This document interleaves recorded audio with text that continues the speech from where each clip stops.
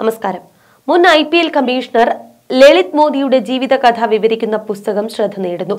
മാധ്യമപ്രവർത്തകൻ ബോറിയ മജുംദാർ രചിച്ച maverick commissioner the I P L Lalit Modi saga എന്ന പുസ്തകം എങ്ങനെയാണ് ആഡംബരത്തിൽ മോദി അഭിരമിച്ചത് എന്നാണ് പറയുന്നത്.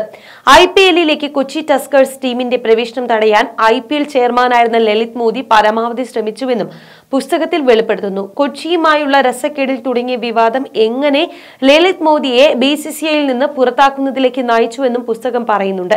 രണ്ടായിരത്തി പത്തിലാണ് കൊച്ചി ആസ്ഥാനമായി പുതിയ ടീം ഐ പി എല്ലിൽ എത്തുന്നത് എന്നാൽ ടീമിനെ അംഗീകരിച്ചുകൊണ്ടുള്ള രേഖകളിൽ ഒപ്പുവയ്ക്കാൻ അവസാന നിമിഷം വരെ I P L commissioner Lalit Modi തയ്യാറായില്ല. അവസാനം B C C I chairman Shashank മനോഹറിൽ നിന്ന് അർദ്ധരാത്രി ഒരു ഫോൺ കോൾ വന്നതിന് ശേഷമാണ് ലളിത് മോദി അയഞ്ഞത്.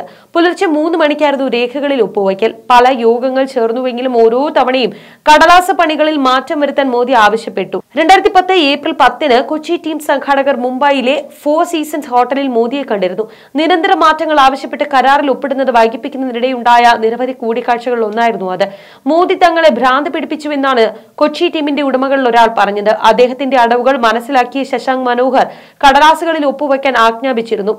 ചെയർമാന്റെ ശാസനയുടെ ഫലമായി പിറ്റേ ദിവസം പുലർച്ചെ മൂന്ന് മണിക്ക് ഒപ്പുവെച്ചു. ശശി തരൂരിന്റെ ഭാര്യ സുനന്ദ പുഷ്കറിന് കൊച്ചി ടീമിന്റെ ഉടമസ്ഥരിൽ ഒരാളായ രന്തേവു സ്പോർട്സ് വേൾഡിൽ പങ്കാളിത്തമുണ്ട് എന്നതടക്കം പല വിവാദ ട്വീറ്റുകളും പിന്നീട് മോദി നടത്തി.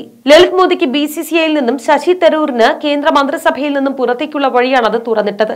രണ്ടായിരത്തി പത്ത് ഐ പി എൽ സീസണോടുകൂടി സാമ്പത്തിക ക്രമക്കേടുകളും അച്ചടക്ക ലംഘനവും അടക്കം കുറ്റങ്ങൾ ചുമത്തി ബി സി സി ഐയിൽ നിന്ന് ലളിത് മോദിയെ സസ്പെൻഡ് ചെയ്തു.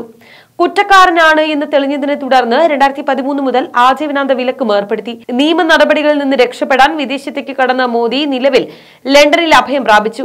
രണ്ടായിരത്തി പതിനൊന്ന് സീസൺ മാത്രം കളിച്ച കേരളത്തിന്റെ കൊമ്പന്മാർക്കും ലളിത് മോദിയുടെ ഗതി ഉണ്ടായി വാർഷിക ബാങ്ക് ഗ്യാരണ്ടി നൽകിയില്ല എന്ന കാരണത്താൽ B C C I I P എല്ലിൽ നിന്ന് പുറത്താക്കി.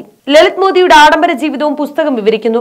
തന്റെ ആവശ്യത്തിന് രണ്ട് മെഴ്സഡസ് ബെൻസ് എസ് ക്ലാസ് കാറുകൾ ഡൽഹിയിൽ നിന്ന് ഹിമാചൽ പ്രദേശിലെ ധരംശാലയിൽ എത്തിച്ചു. താമസിക്കുന്നതിനായി പഞ്ചനക്ഷത്ര ഹോട്ടലിൽ ഒരു ഫ്ലോർ മുഴുവൻ ബുക്ക് ചെയ്യുക. ഇങ്ങനെ ഒന്നാം തരം ധൂർത്തിന്റെ അവസാന വാക്കായിരുന്നു Lalit Modi. Mercedes Benz S class കാറുകളുടെ കടുത്ത ആരാധകനായിരുന്നു ലളിത് മോദി എന്നാണ് പുസ്തകം പറയുന്നത്. ഹിമാചൽ പ്രദേശിലെ ധരംശാലയിൽ ലളിത് മോദിക്ക് യാത്ര ചെയ്യാൻ വേണ്ടി രണ്ട് എസ് ക്ലാസ് കാറുകളാണ് ഡൽഹിയിൽ നിന്ന് ഓടിയെത്തിയത്. ധരംശാലയിൽ എസ് ക്ലാസ് കാറുകൾ കിട്ടാനില്ലാത്തത് കൊണ്ടായിരുന്നു ലളിത് മോദിയുടെ ഓഫീസ്.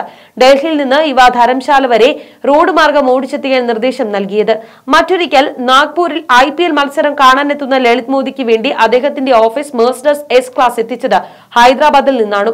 ഇത്തരത്തിൽ നിരവധി ആഡംബരങ്ങളുടെ വലിയൊരു കഥ തന്നെയാണ് ഈ പുസ്തകം പറയുന്നത്.